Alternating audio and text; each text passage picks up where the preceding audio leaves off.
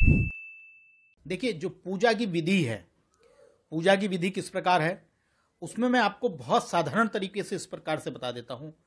पहले आप भगवान गणेश और लक्ष्मी की प्रार्थना करिए। गजाननम भूत गणादिवेदन कपित जम्बू फल चारु भक्षण उमासुतम शोक विनाशकारकम नमामि गणेश्वर पाद पंकजम।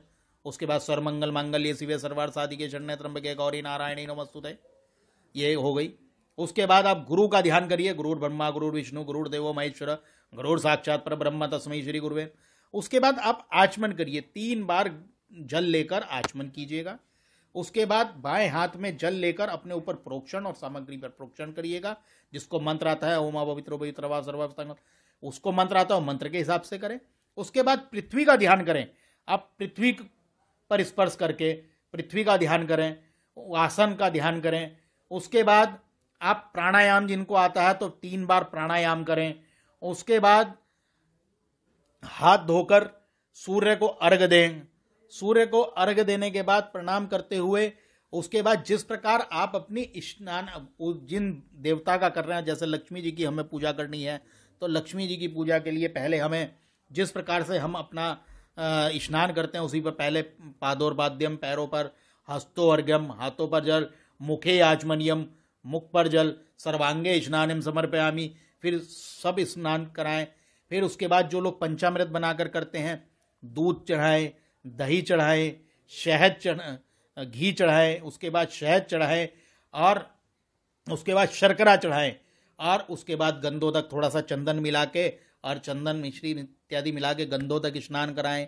और अन्य प्रकार के जो जल होते हैं, उनसे भी आप जल करा के फिर शुद्ध स्नान करा के उनको पहुँच कर उन पर वस्त्र उनको पहनाएँ, उन पर उसके बाद डोरी पहनाएँ और डोरी के बाद उनको गणेश भगवान को यज्ञोपवीत चढ़ाएँ, फिर उनको अच्छी तरह से गंध अक्षत राज तिलक करें उनका और फिर उसके बाद दीपक दिखाएँ। दीपक दिखाने के बाद उनको नैवेद्य लगाएँ मतलब भोग लगाएँ, फिर उसके बाद ऋतु फल चढ़ाएँ। मीठा पान दीपावली में अवश्य चढ़ाना चाहिए। मीठा पान उनको लगाइए। उसके बाद दक्षिणा चढ़ाइए दक्षिणा चढ़ाने के बाद ये सब करने के बाद आप आरती करें फिर वंदना करें और फिर उनसे क्षमा याचना मांगें।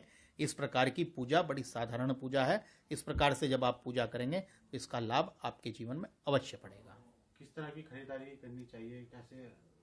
देखिए ऐसा हमारे यहाँ कहा जाता है यूँ तो हर त्यौहार पर सनातन धर्मी नए वस्त्र और नए व्यंजन बनाकर अलग अलग समय पर अलग अलग प्रकार के व्यंजन बनाकर अपने त्योहारों को मनाते हैं। दीपावली, ये इस पर नए वस्त्र अवश्य पहनने नए वस्त्र पहनकर ही, शुद्ध वस्त्र पहनकर ही पूजा करनी चाहिए। घरों में सर्वाधिक स्वच्छता और साफ़ सफ़ाई रखनी चाहिए और पात्रों के साथ साथ स्वर्ण और रजत की खरीदारी भी करनी चाहिए। ज़्यादा ना हो चांदी का सिक्का खरीद लें या स्वर्ण का जिसकी जैसी क्षमता है, उस हिसाब से। कुछ लोग स्टील इत्यादि के बर्तन खरीदते हैं। पात्र खरीदने का मतलब यह है, उसमें पात्र में पहले आप चावल भरें या कुछ ऐसा पकवान बनाएँ जो नैवेद्य जिसमें पहले भगवान को भोग लेंगे। इस भावना के साथ लोग नए बर्तन भी खरीदते हैं। तो इसलिए लोग, इसके अलावा घरों की साज सज्जा के लिए कि लक्ष्मी चंचल होती है, जो आपके पास जुड़ा हुआ है, उसको आपको पहले खर्च भी करना पड़ेगा, तब आपके पास आएगा। तो लक्ष्मी को बाँध के नहीं रख सकते। तो इसलिए उसको चलाएमान आदान प्रदान चीज़ें होनी चाहिए तो इसलिए ये अवश्य करना चाहिए। देखिए, दीपावली वर्ष भर पड़ने वाला, सनातन धर्मावलियों के लिए वो पवित्र त्योहार है जिसको कि जिसको कि वो बहुत ही उत्साह और उमंग के पास, साथ मनाता है। विशेष रूप से अर्थ सिद्धि के लिए मनाने, मनाया जाने वाला एक त्यौहार आप कह सकते हैं।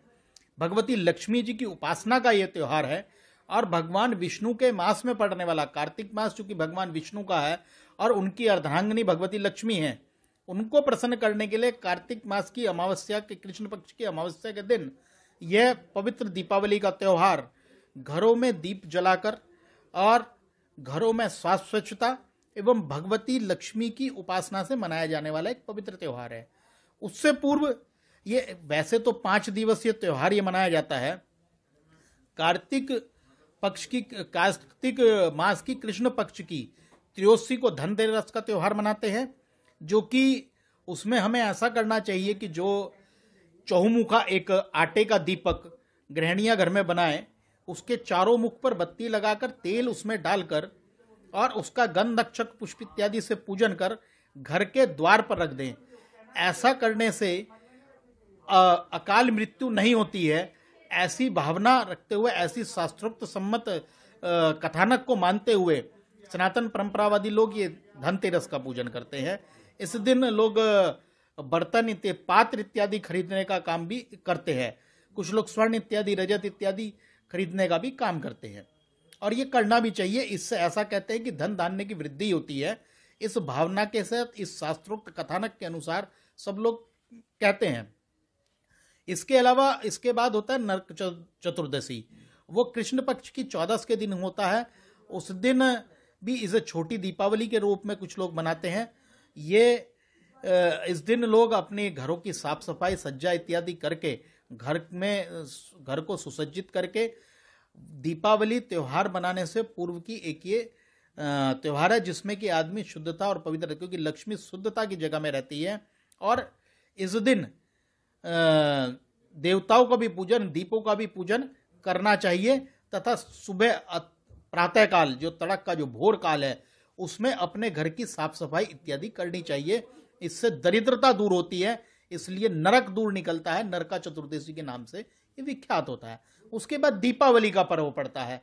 दीपावली का पर्व भगवती लक्ष्मी जी की उपासना का, उनके पूजन का, उनके प्रति कृतज्ञता व्यक्त करने का ये पवित्र त्योहार है। इस दिन लक्ष्मी हमारे घर में वास करे, ऐसी भावना के साथ भगवती लक्ष्मी जी का पूजन एवं दीपों का प्रज्वलन और भग पितरों के निमित्त दीपों का समर्पण कर, किया जाता है।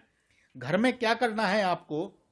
घर के सभी परिवार के लोग एकत्रित हों, गणेश गौरी का पूजन करें और भगवती लक्ष्मी का विशेष रूप से जो लोग ब्राह्मण के द्वारा, जैसे कि ब्राह्मण हर जगह उपलब्ध अगर नहीं है तो वो अपने चारों सभी लोग, परिवार के लोग बैठें और पहले गणेश जी को गंध अक्षक पुष्प करें, भगवती गौरी को गंध अक्षक पुष्प करें और उसके बाद भगवती लक्ष्मी की आराधना। अब तो सीधा माध्यम है कि यूट्यूब या अन्य माध्यम से भी आपको लक्ष्मी की पूजा के या अन्य प्रकार के तरीके मिल जाते हैं। जैसे कि हमने ये पुस्तक बनाई है। इस पुस्तक में हमने हिंदी पूजा के हिसाब से कि आपको संकल्प करना है कि आज मैं इस क्षेत्र में बैठकर, इस स्थान पर बैठकर, इस तिथि के दिन इस वार के दिन, इस समय मैं गणेश गौरी की पूजा कर रहा हूँ, लक्ष्मी की पूजा कर रहा हूँ। तो हम लोग लक्ष्मी जी की पूजा करें, उनका 108 बार नाम लें, कुछ लोग सहस्तार्चन करते हैं। जो लोग विधि विधान से करते हैं, उनका विषय अलग है। जो साधारण विधि से करना चाहते हैं, वो किसी भी भ्रम में पड़कर, किसी भी परेशानी में ना पड़कर, बहुत साधारण प्रकार से गणेश लक्ष्मी का गंधाक्षक पुष्प इत्यादि से पूजन करें। उनको नैवेद्य लगाएँ, अच्छे से अच्छी मिठाई का लगाएँ और पंचामृत बनाना हमारे यहाँ बड़ा आसान है, पंचामृत से भी स्नान अवश्य कराएँ। तो इस प्रकार का पूजन है, उसके बाद दीपक जलाएँ। दीपों को जागृत ऐसे कहते हैं, शुभम करोति कल्याणम, आरोग्यम धन समता शत्रु बुद्धि नाशाय, दीपकाय नमोस्तु। शुभम करोति कल्याणम, जो शुभ हो, जो कल्याण करने के, आरोग्यम धन संपदा, जो आरोग्य रखे, निरोगी रखे, धन संपदा दे ऐसे दीपों के में भाव करते हुए दीपों को प्रज्वलित करें और घर के सभी द्वारों पर रखें, घर के बाहर चौराहे पर रखें, कुएँ पर रखें गौशाला में रखें। इस प्रकार दियो को वहाँ पर रखकर, मंदिरों के द्वार पर रखें, इस प्रकार दियो को रखना चाहिए। इसके साथ साथ ग्यारह दीपक पितरों के निमित्त, क्योंकि अमावस्या वैसे भी पितरों का है और हम कोई भी कार्य करते हैं उसमें पितरों का आह्वान ज़रूर कर पितरों को प्रणाम ज़रूर करते हैं पितरों के प्रति कृतज्ञता करते हैं।